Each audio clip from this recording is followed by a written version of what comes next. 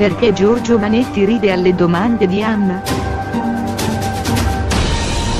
Giorgio Manetti sembra avere perso gran parte della popolarità e anche oggi in studio mantiene un comportamento strafottente. Con te ho fatto sesso e mi pare ti sia anche piaciuto. Il nostro gabbiano ancora una volta dimostra di essere innamorato di sé, peggio di Narciso e rivolge queste parole alla dama torinese, che lo accusa d'avere mortificato la loro storia d'amore a mera relazione sessuale.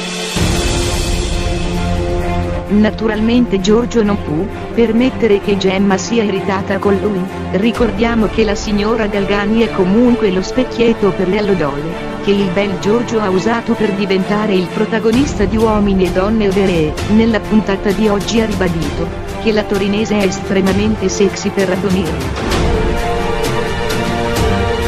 Sicuramente il termine momia, che Anna ha usato cattando con Giorgio lascia pensare che tra i due il rapporto sia molto intimo ed è strano, che Giorgio, così gentleman permetta a un'amica d'offendere una donna importante per lui. Può essere di dubbio gusto che Gianni Sperti abbia controllato il telefonino di Anna, considerato che all'interno di una trasmissione televisiva sono molte le agevolazioni, che ottengono i protagonisti tra cui soggiorni a Roma, i viaggi e le relative serate retribuite, che ovviamente ne derivano, la correttezza ed obbligo.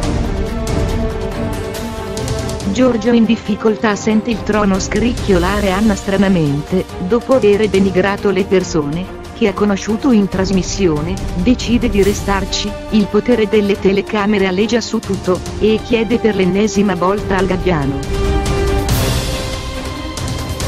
Tu pensi che io sia innamorata di te in caso tu avessi fatto delle avances nei miei confronti pensi che io ci sarei stata? Anna vuole una risposta, ma Giorgio come sua abitudine tentenna deridendo la bella dama bionda e risponde sghignazzando quando la stessa conduttrice chiede a Giorgio se per caso lui fosse innamorato di lei. Valentina interviene dicendo che sono stati usati due misure diverse tra Anna e Giorgio e si domanda perché sia stata lapidata solo Anna e non il cavaliere. Gli ascolti si alzano nelle puntate di Uomini e Donne Over grazie alla presenza di Gemma Galgani, che in bene o in male ha assunto un ruolo determinante all'interno della trasmissione e ovviamente di riflesso anche per Giorgio. A nessuno conviene che Giorgio Manetti abbandoni e soprattutto lui sarebbe il primo a non trarne giovamento perché, come sa perfettamente dall'altro della sua esperienza, in poche settimane sarebbe sostituito da un altro cavaliere carismatico e forse anche più simpatico di lui. Quindi aspettiamoci che questa telenovela nostrana continui ancora a lungo. Finirà quando il pubblico si annoierà di vedere svolazzare il gabbiano